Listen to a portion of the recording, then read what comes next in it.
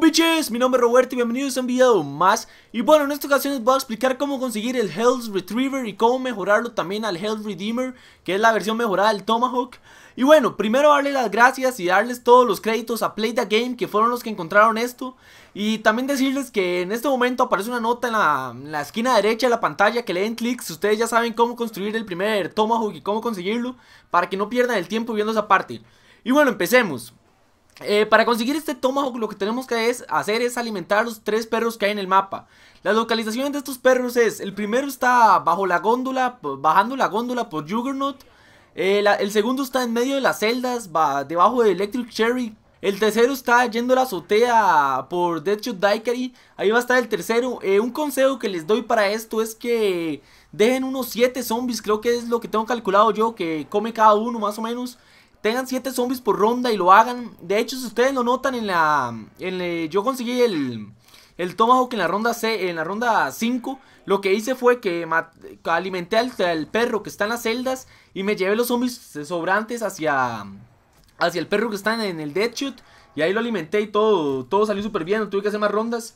El perro, el Deadshot, para mí es el más, el más difícil de alimentar, entonces tengan mucho cuidado en él.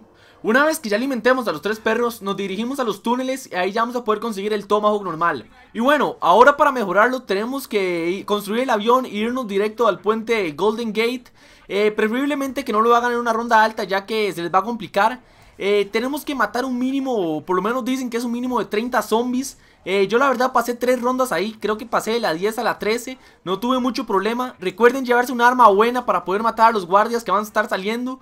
En la ronda 13 nos devolvemos a nos devolvemos al mapa normal y ahí nos vamos al portal del infierno. Eh, este portal vamos a, vamos a tirar el Tomahawk. Este portal está en el perro, el perro, el segundo perro que alimentamos, el que está debajo, Electric Cherry.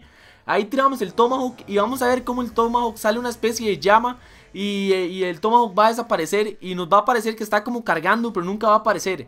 En este momento nos dirigimos a donde recogimos el Tomahawk por primera vez y vamos a ver que desapareció o por lo menos está ahí, tenemos que pasar de ronda. Eh, cuando pasemos de ronda vamos a notar que el brillo se va a convertir en azul. Eh, en mi caso pues, se glitchó el juego, no sé por qué, me seguía saliendo rojo pero no me salía el Tomahawk. Con que no le salga el Tomahawk ya lo hicieron bien.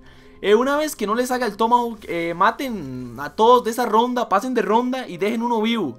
entramos al modo Afterlife y ya vamos a poder recoger el Hell's Redeemer. Y bueno, dicen que este Tomahawk sirve para rondas altas, la verdad no he tenido mucha oportunidad de probarlo. Aquí les voy a poner un par de clips que he sacado del juego que estoy jugando en este momento. Y bueno, yo creo que sería todo, mi nombre es Roberto y nos vemos en el próximo video, adiós